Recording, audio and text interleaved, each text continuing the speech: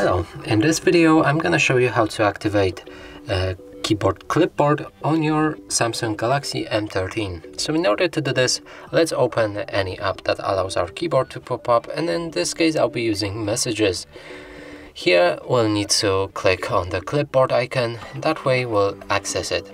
So there's no need to enable it or anything, it's always enabled. And now uh, in order to add any items to it, we'll need to go back, simply enter some text here. I'm gonna use word elephant. You can even do it with sentences. You're not limited to only words.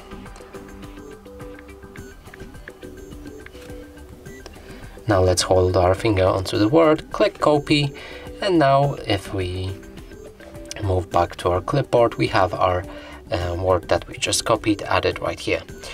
And that's it for this video, hope you like it, please consider subscribing to our channel, leave a like and a comment below.